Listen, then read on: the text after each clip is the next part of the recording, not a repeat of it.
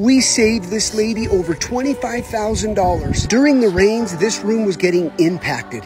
So she contacted a drain company who assumed that by putting in area drains and waterproofing her foundation that that would solve the problem.